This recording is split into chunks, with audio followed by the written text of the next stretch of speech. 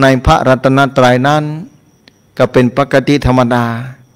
ถ้าคนไหนยังมาเข้าใจ ยังมาสามารถที่จะพิสูจน์ และก็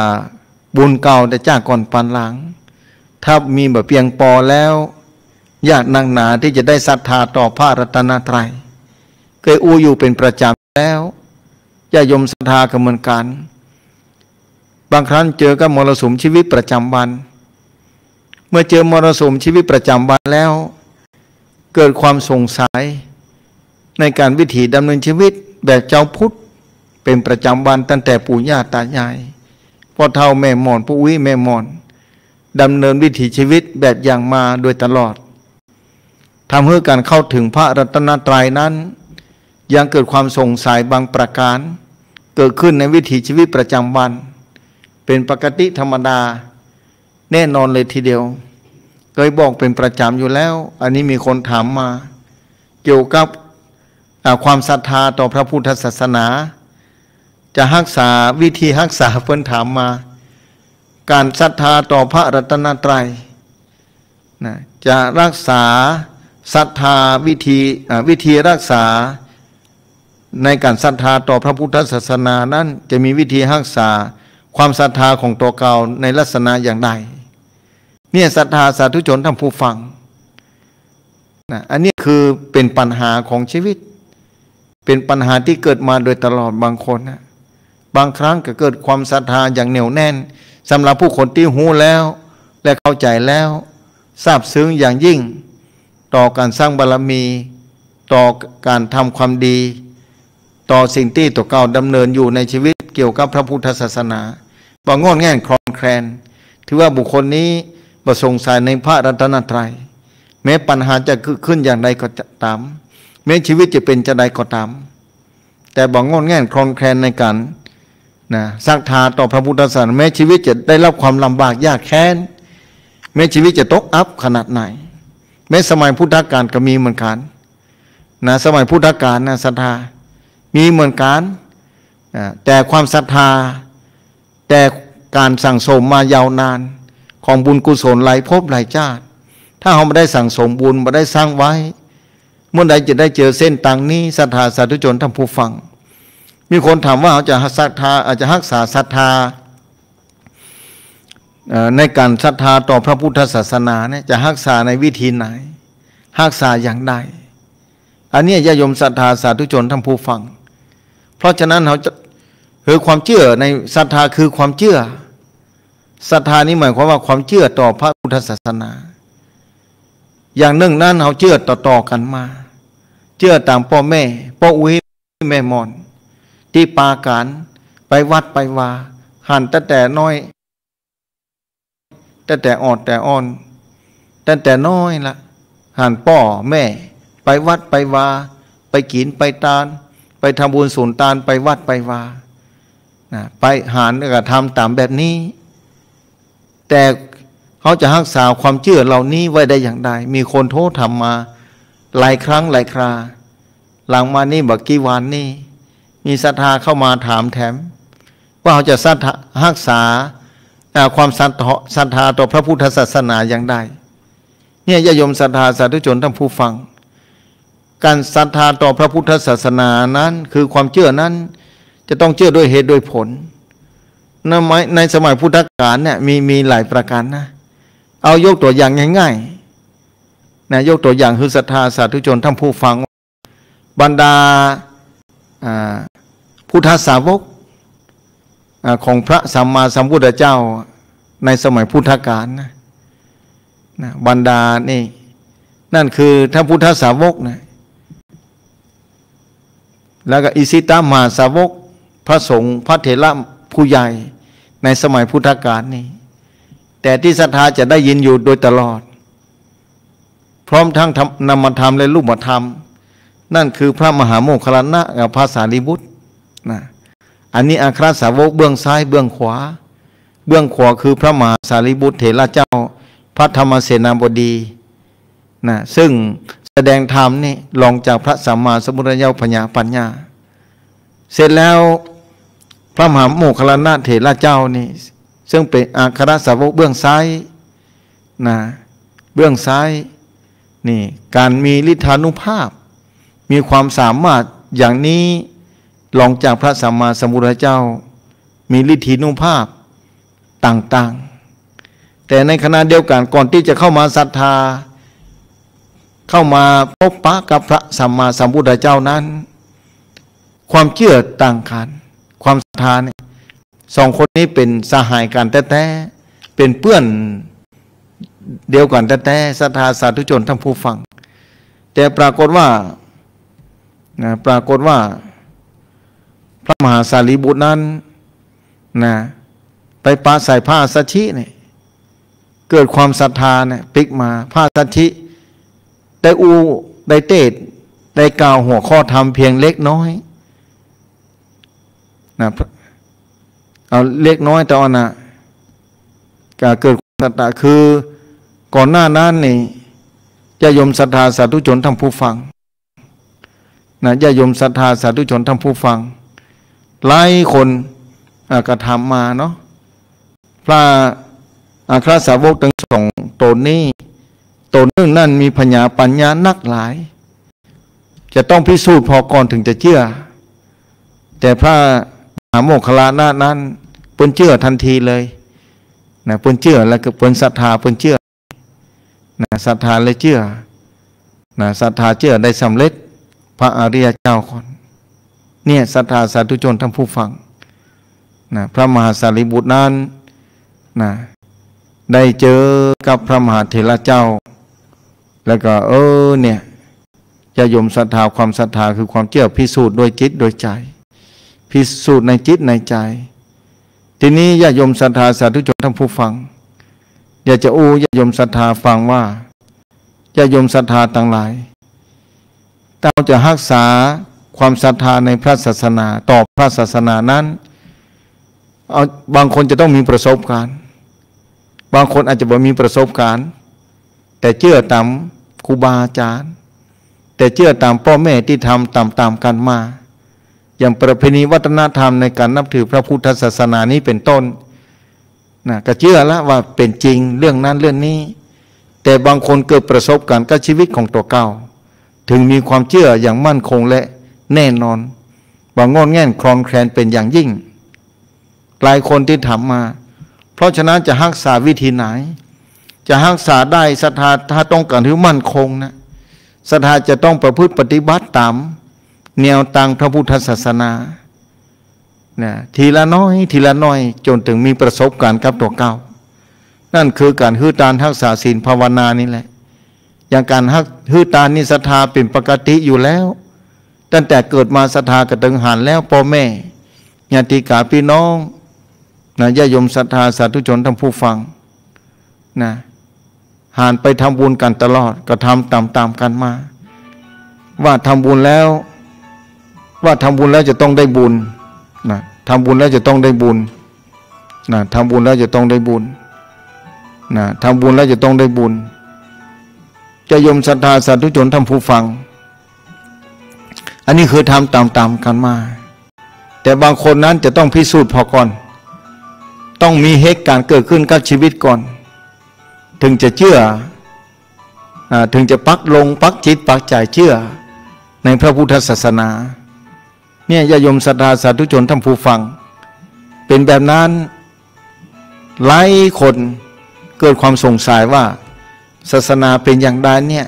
เพราะฉะนั้นจะเกิดความงอนแง่นคลองแคลนในการนับถือพระพุทธศาสนา บางคนก็ถามนะถามรายการต่าง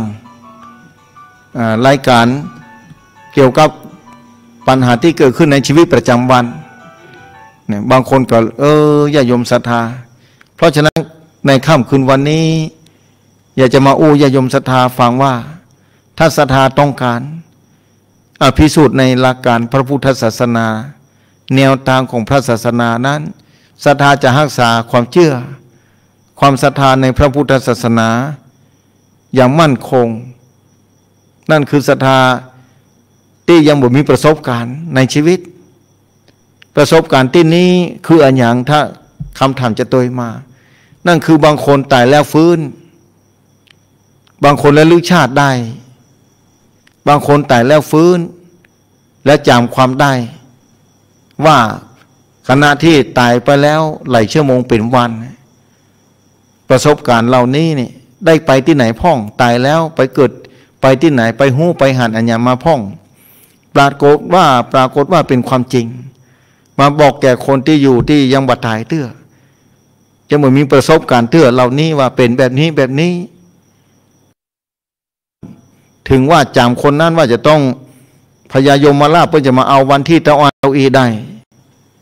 คนบุคคลนี้จำได้อย่างแม่นยำและเชื่อสนิทธรรมะก่อนหน้านั้นเปิ้นอยู่ในใจวิถีชีวิตอย่างไรบ่เคยไปวัดบ่เคยไปทำบุญบ่เคยหูสักอย่าง แต่ปรากฏว่าเมื่อตัวเก่าตายไปแล้วชั่วโมงสองชั่วโมง หรือว่าหลายชั่วโมง ฟื้นขึ้นมาแถมนี่ เป็นคนที่ศรัทธาต่อพระพุทธศาสนานะคนที่อยู่กายอยู่กาย ที่เคยหูจักบุคคลเหล่านี้เนี่ยงงไปตามๆกันว่าไอ้เป็นไปได้อย่างไรท่านท่านที่บุคคลนี้บ่เคยเข้าวัดฟังธรรมบ่เคยเข้าวัดไปว่าบ่เคยทำบุญบ่เคยเชื่อสิ่งเหล่านี้เลยกระจายชีวิตไปวันวันหนึ่ง แต่มีอยู่วันหนึ่ง ตัวเก่าได้เจ็บป่วยบ่กี้มาเท่าใดนัก สลบลงไปตายลงไป อันนี้เหตุการณ์ที่ตายแล้วฟื้น มีเกิดขึ้นบ่อยๆในประเทศไทยนี้ พอตายแล้วใส่ลงในร่องเรียบร้อย ปิดไว้เรียบร้อย สมัยก่อนบางครั้ง เพิ่นไม่ได้ฉีดยาฟอร์มาลิน การเน่าการเปื่อยแบบนี้แต่ปรากฏว่าฟื้นขึ้นมา อาการฟื้นขึ้นมานี่แหละปิกมาเป็นคนละคนกัน นั่นคือลีกุลีกูจอบอกยานติกาพี่น้องว่า ต้องการไปวัด ไปทำบุญเป็นจะได้ถึงต้องการไปวัด เพราะว่าหลังจากที่ตัวเก่านี่ตายไปหลายชั่วโมง หรือว่าหนึ่งวันที่ผ่านมาเนี่ย ชีวิตตัวเก่าได้ไปหู้ไปหาบันสิ่งบันอย่าง ในชีวิตหลังความตายเนี่ย ทำให้เปิ้นเกิดความศรัทธาว่า การทำบุญนั้นมีผลจริง ๆ คนที่ทำบุญไปแล้วเปิ้นใดแบบนั้น ตัวเก่ามาได้ทำไว้ก็เลยบอกมีอย่างสักอย่าง อันนี้คือหลักฐานนี่คือประสบการณ์ บางคนอาจจะฝันว่า คนนั้นมาขอส่วงบุญกุศลฝันตลอดเวลา แต่พอไปทำบุญให้คนนั้นแล้วทำให้ความฝันนั้นก็หายไป อันนี้ก็เกิดความชงนใจสำหรับบุคคลที่มีประสบการณ์แบบนี้ ว่าเป็นไปได้อย่างไรก็เกิดความศรัทธาต่อการฮือตานนะการรักษาศีลก็เริ่มมีขึ้นมา แล้วการภาวนานี้ทำให้จิตใจสงบ จิตใจได้พักผ่อน คนที่ไปปฏิบัติธรรมนี่จะเชื่ออย่างยิ่ง ว่าการปฏิบัติธรรมนั้นมีผลต่อต่อเขา การไหว้พระสวดมนต์นั้น มีผลแบบนี้แบบนี้ เนี่ยญาโยมสัตยาสาธุชนทำผู้ฟัง ที่ทำรายการมาที่ทำมาหลายวันวันนั้น น่าจะฟังวิทยุเปิ้นกับว่าฟังเป็นบางครั้ง เปิดวิทยุอยู่เหมือนกันบันเติดสถานีถ้าดีมาก็ดีใจเพิ่นว่า ได้ฟังอยู่ แต่บันเติดก็บ่มีโอกาสได้ฟัง แต่เกิดความสงสัย เพราะว่าเพราะฉะนั้นวิธีการรักษาศรัทธาต่อพระพุทธศาสนานั้น ญาโยมศรัทธาสาธุชนทำผู้ฟังนะจะต้องศึกษาค้นคว้าและปฏิบัติตาม อย่างเขาเชื่อว่าปลูกต้นไม้ ผลไม้ที่เป็นผลที่ต้องนำมากินกับชีวิตประจำวันเนี่ยศรัทธาสาธุชนทำผู้ฟัง ที่ต้องนำมากินกับชีวิตประจำวันเนี่ย เวลาเฮาปลูกนี่ไม่ใช่ส่งผลคือเตื้อนะศรัทธาไม่ได้ส่งผลเตือนะยังบ่ส่งผลเตื้อ ต้องดูแลต้นไม้ หรือพูดผลแต่ละชนิดนั้น ๆก่อน ต้องใช้ระยะเวลา ระยะเวลาเหล่านี้แหละต้องดูแลรักษา เหมือนกับความศรัทธาต่อพระพุทธศาสนานี่เขาต้องรักษา อย่างต้นไม้แต่ละต้นเนี่ยจะต้องใส่ปุ๋ย จะต้องพรวนดิน ไดหญ้าเอาหญ้า ต้องหืดน้ำ เนี่ยต้นไม้แต่ละต้นเนี่ยจะต้องป้องกันว่าลมมันจะตีมาก็อย่ามาหื้อผลเตื้อมันจะหักโค่นไปกันเนี่ยอันนี้คือความศรัทธาเนี่ยว่าเตื้อเฮาศรัทธาแต่แต่แต่ปัญหาสังคมเกิดขึ้นหลายเรื่องหลายเล่าทำให้เกิดความสงสัยขึ้นมาทำปัญหาเข้ามาแถมนะนี่เข้าใจและหันใจนะหันใจคนที่ศรัทธาอย่างมั่นคงเนี่ยถึงวิชีชีวิตจะลำบากยากแค้นขนาดไหนก็ตามนะ แต่เปิ้นถือว่ายอมรับความเป็นจริงเรื่องรหัสกรรมให้อย่างหนึ่ง รหัสกรรมที่เกิดขึ้นกับตัวเก่าเนี่ยเป็นกรรมผลพลอยได้จากหลายภพหลายชาติที่เคยสั่งสมมาไว้แล้ว ทุกคนและทุกอย่างที่เกิดขึ้นกับชีวิตประจำวันของทุกคนนั้น ทุกคนถ้าเชื่อว่าทุกอย่างบ่มีเหตุบังเอิญสักอย่างจะมีติดไปที่มาอย่างต้นไม้ที่กำลังปลูกต้องดูแล หน่วยยามาส่งผลเตื้อเพราะว่าบัดถึงเวลา การละเวลาเตื้อไม้แต่ที่นี้ส่งผลยังบ่ฮึ่งบ่เหมือนกันนะคนแต่ละคนกับบ่ใจเหมือนกัน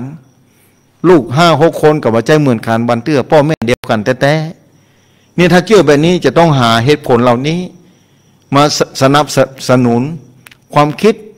ความอ่านนะจะเกิดขึ้นเป็นความเชื่อ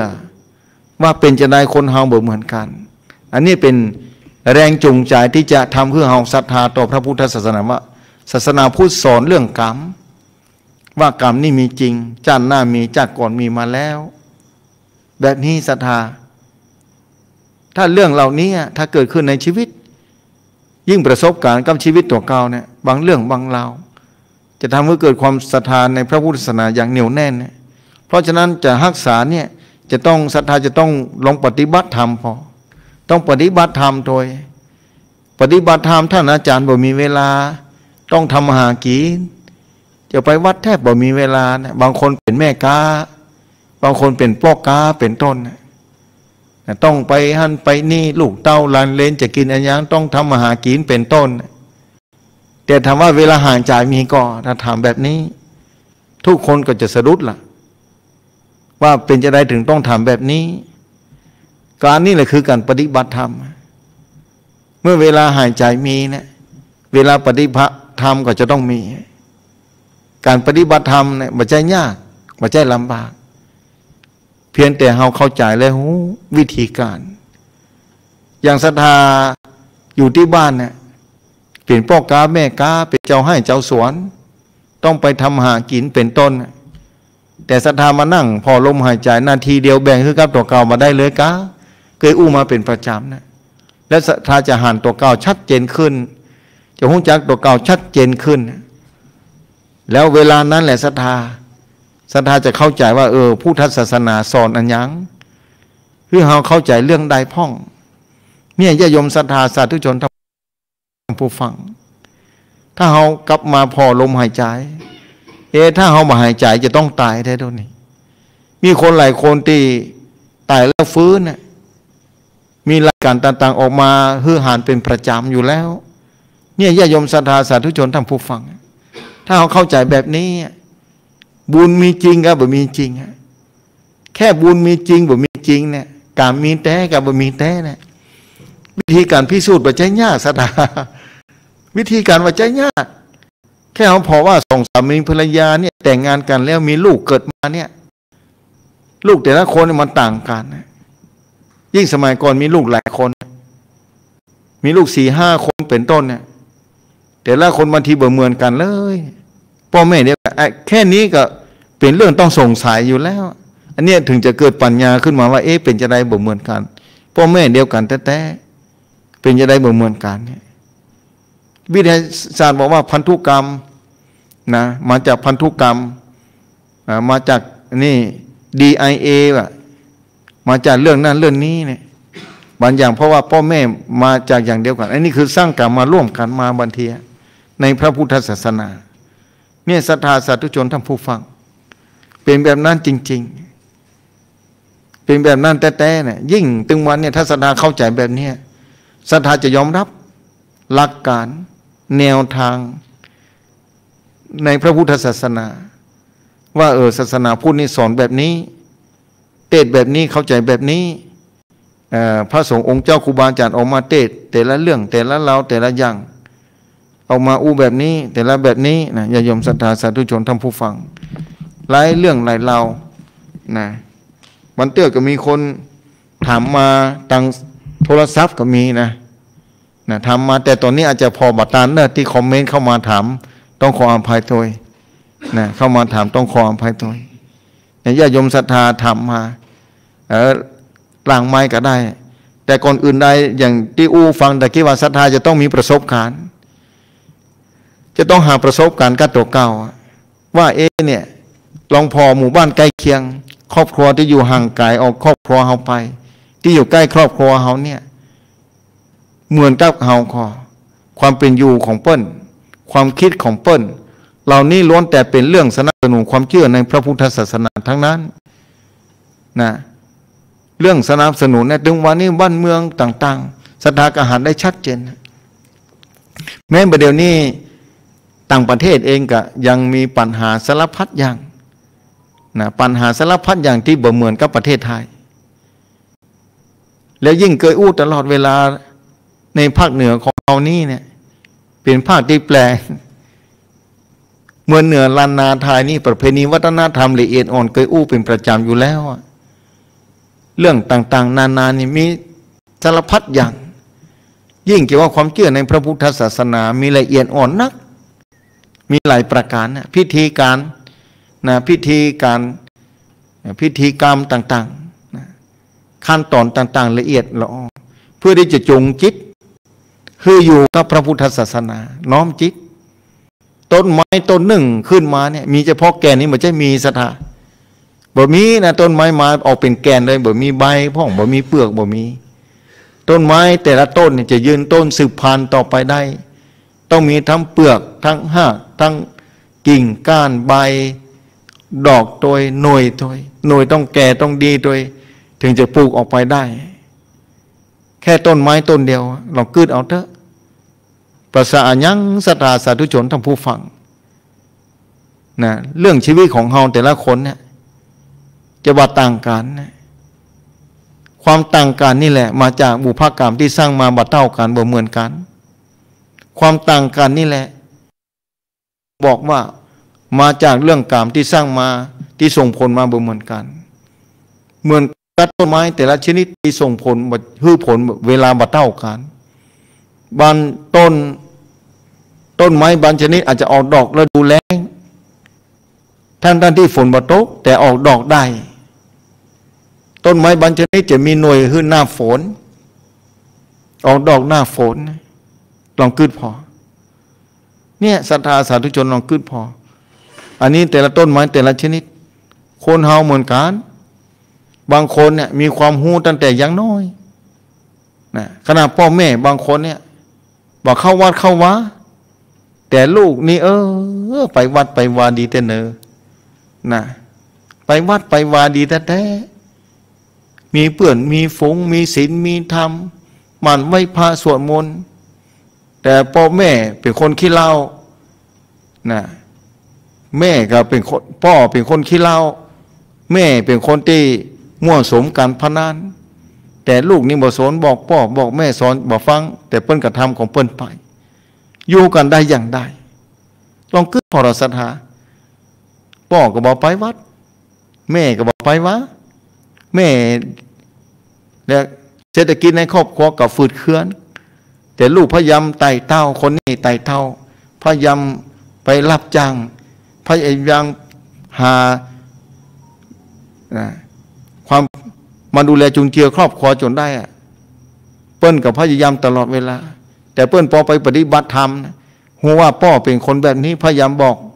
เปิ้นกับบ่เครียดเปิ้นว่าเออเราเป็นกรรมของเปิ้นเนาะน่าหันใจพ่อสงสารพ่อ แต่บ่ฮู้จะแย่อย่างใดเมื่อพ่อเป็นแบบนี้ แม่เป็นบอกแล้วบอกเล่า แต่ลูกก็ทำตามหน้าที่เป็นอย่างดีพ่อศึกษาหลักธรรมในพระพุทธศาสนา เนี่ยบอกงอนแง่งคลอนแคลนแล้ว แม่พ่อจะเป็นจะได้บางคนทำบุญไปเรื่อยๆทำบุญไปนี่ มีคนมาถาม ว่าเป็นจะได้บ่รวยสักเตื้อทำบุญตลอด เนี่ยศรัทธาทำบุญเอ๊ท่านอาจารย์ผมบ่รวยสักเตื้อนะทำมาตั้งแต่น้อยละตั้งแต่พ่อแม่ละไอ้เรื่องบ่รวยรวยก็บ่รวยบ่ได้อยู่ที่การทำบุญในเจ้าปัจจุบันนี้โยมเอ้ยบอก ต้นไม้นี่ไม่ใช่ว่าปลูกวันนี้จะออกดอกวันนี้ มีหน่วยวันนี้ไม่ใช่ไล่พบไหลจาดแล้ว คนที่เกิดมานี่พบปะกองเงินกองทองบางคนเกิดมาพ่อแม่ร่ำรวยมหาศาลด้วยการฮื้อตานมาก่อน แต่ถ้ามาได้รักษาศีลห้าข้อเนี่ยเป็นปกติวิสัยของคารวะวิสัย ถ้าบ่รักษาศีลห้าข้อเนี่ยเกิดมาเนี่ย เจอพ่อแม่รวยแต่แต่ตัวเก่าพิกงพิการ มีนักติปะมีหลาย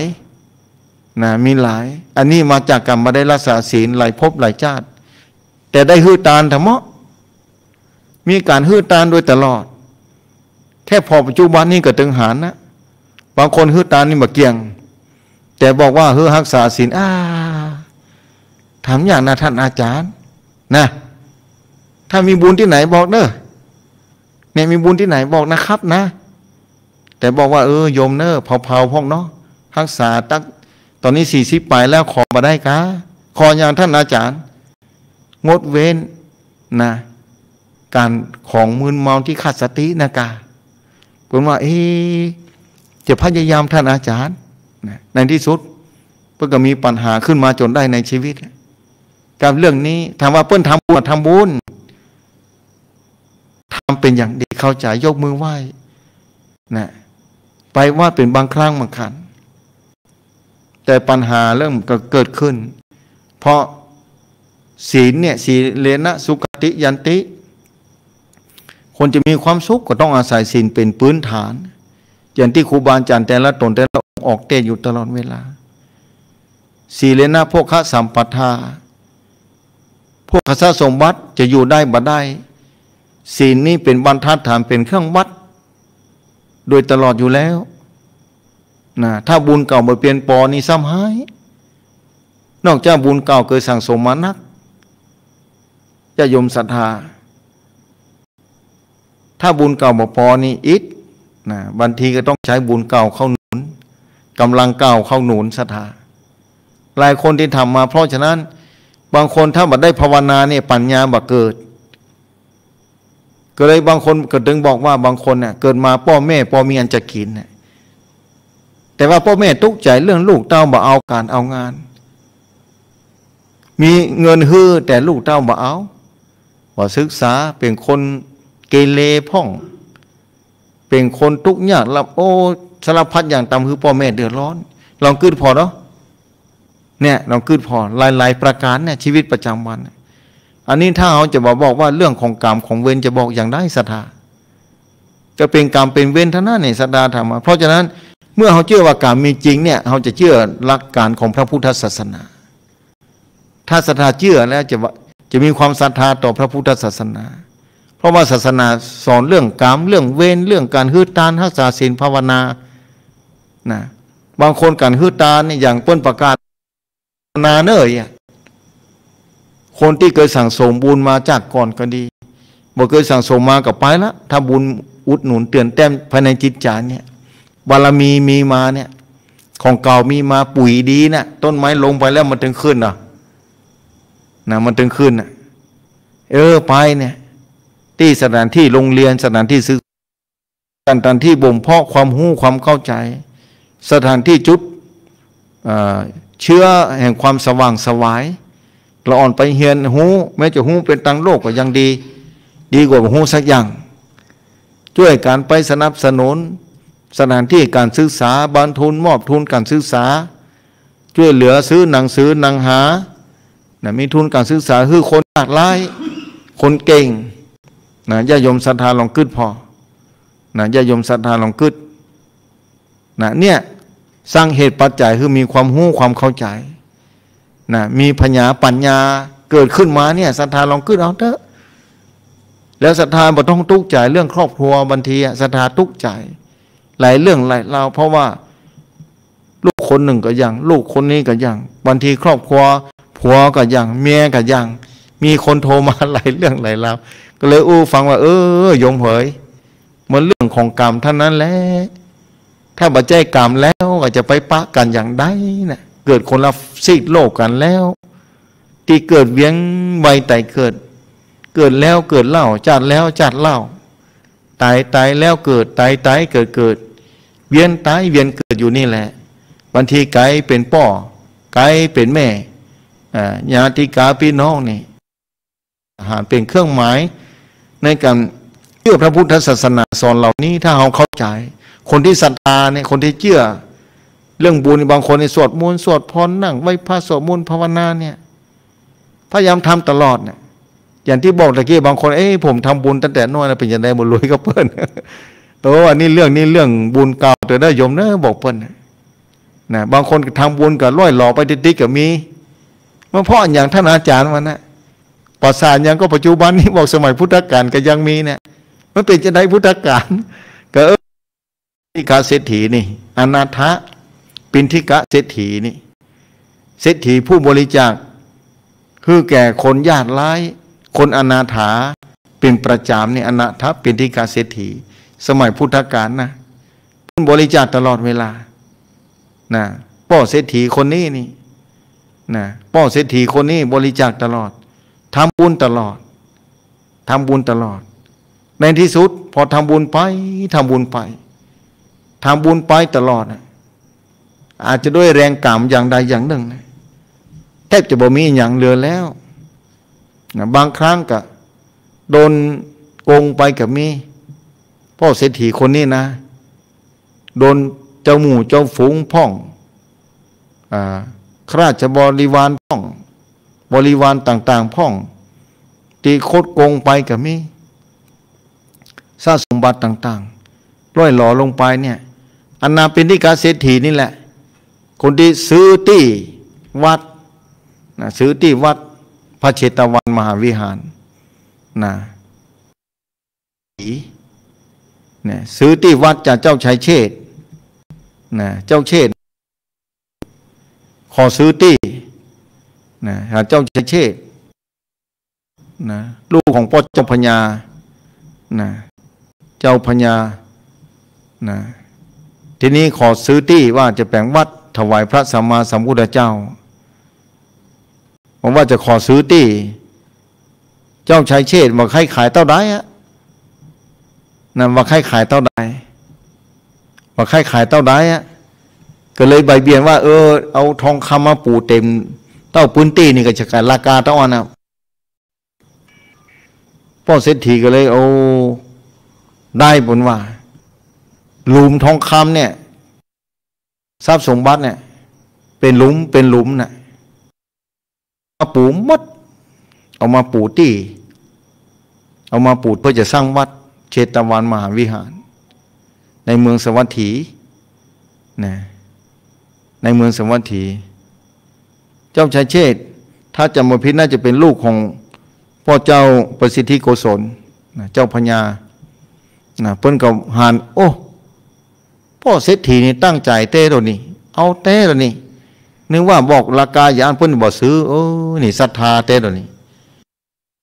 ศรัทธาต่อพระพุทธศาสนาแต่ว่า โจรทองคำหรือมามัดแล้วมาปูเสียงมัดเหลือที่เดียวที่ที่ประตูนะประตูตังเข้าอะ ตรงที่จะกำหนดป็นประตูตังเข้าวัดพระเจตวันเนี่ย ถึงวันนี้ถ้าไปไปอินเดียน่าจะไปถ้าไปแล้วจะได้หาร นะต่างประตูต่างเข้า เพิ่นลืมกำหนดไปลืมไว้แล้วก็ทีนี้ที่ห้าน่ะบอกว่าสตังเสี่ยมพอดีเอ๊ะเงี้ยจังไรดีพระเจ้าปูเนี่ยเพราะเจ้าชายเชษก็เลยว่า เออจะจะผมจะร่วมทำบุญตัวเนอะนี่ในเมื่อพ่อเศรษฐีนี่มีศรัทธาถึงขนาดนี้